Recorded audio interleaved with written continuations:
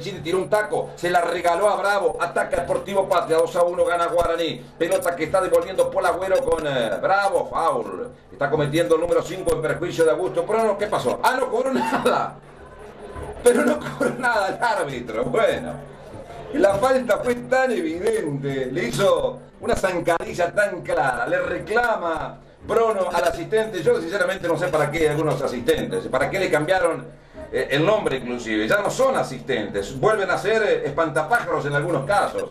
Corner para Patria desde una jugada muy parecida, llegó el empate.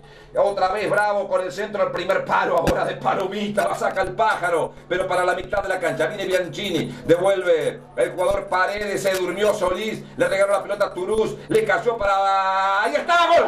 ¡Qué! ¡Gol de Patria! Héctor Núñez. De cabeza anota. La pelota le quedó a Bravo como puntero derecho, colocó un centro que pasó por toda la puerta del área chica, nadie cortó en Guaraní.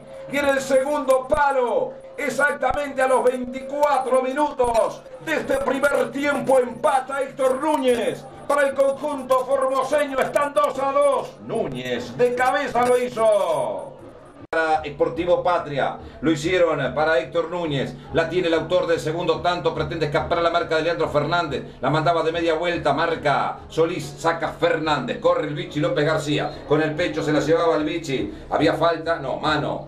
Está cobrando al Vichy López García. Se agarra la cabeza Leonardo Acosta y dice, pero eso no fue mal.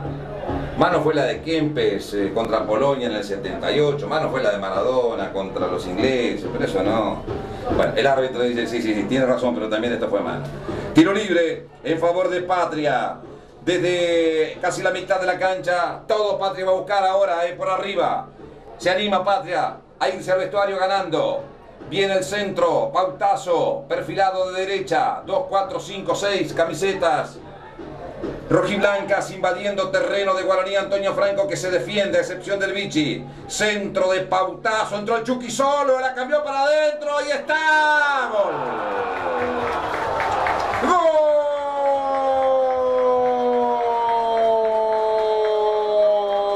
Gol de Patria. Mire, sinceramente creo que fue una carambola.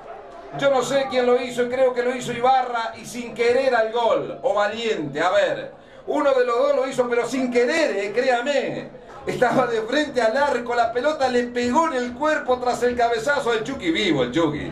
El Chucky un delantero de esos que, que usted ya sabe cómo juega. La cambió desde la derecha para adentro, se pasaba de largo el arquero Poncio, la pelota rebotó en el cuerpo creo que de Ibarra o de Valiente, ya les voy a confirmar, tengo que confirmar este, el tercer gol del conjunto de Sportivo Patria en el final del primer tiempo.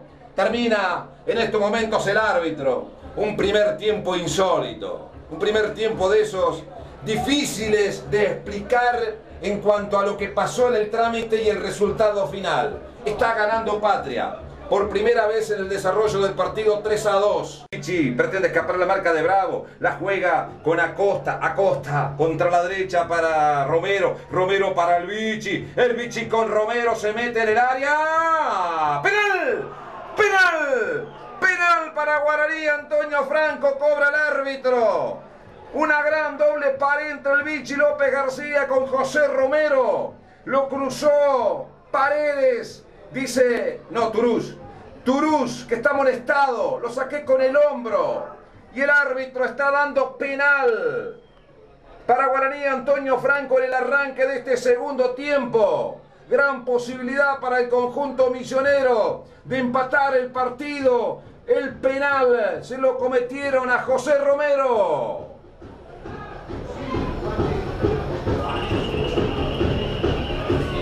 Penal para Guaraní, señores. El pájaro Juárez ya acomodó la pelota. Panero trata de ponerlo nervioso, moviéndosela. Es el arco que da espaldas al acceso a Formosa. El sol que ilumina a pleno el estadio de la Liga Formoseña. Penal para Guaraní, posibilidad de empatar 3 a 3. Larga carrera del pájaro Juárez. Dará la orden el árbitro. Toma carrera desde la media luna, va el pájaro Juárez, tiró. ¡Gol!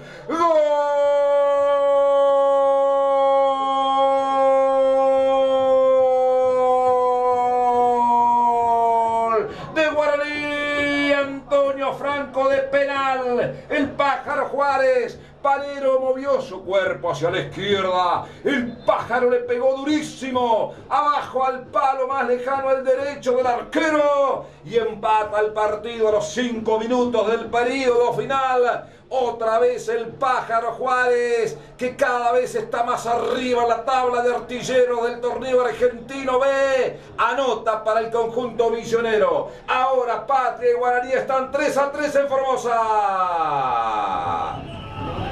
del arquero Poncio, que está en la mitad de la cancha, todo Guaraní metido en el área. Rival, viene el centro, Romero, salió Panero, devolvió con los puños, la pone en la mitad de la cancha Valdés, retrocede a Costa, la tiene a Costa, la pisa a Costa, foul, en perjuicio de Acosta, otro centro al área. Otro centro al área. Acosta que la juega corto con Romero. Romero que la pone contra la izquierda para Andrew Sissin. Andrew Sissin que amaga. Va a colocar el centro. Escapó. Un centro. Ahí está. Ahí está. ¡Gol! ¡Gol! Solís. ¡Gol!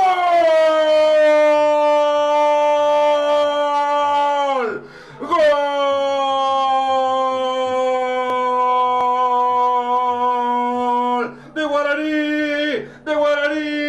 La hora, Juan Marcelo Solís no se olvida jamás, no se olvidará jamás de este sábado 12 de febrero. El defensor de Guaraní anota el segundo, el 4 a 4. Era el final del partido. No merecía Guaraní perder de ninguna manera. Y Solís se quedó con la última imagen del partido. De zurda, le reventó el arco a Panero. 4 a 4, estamos en Formosa.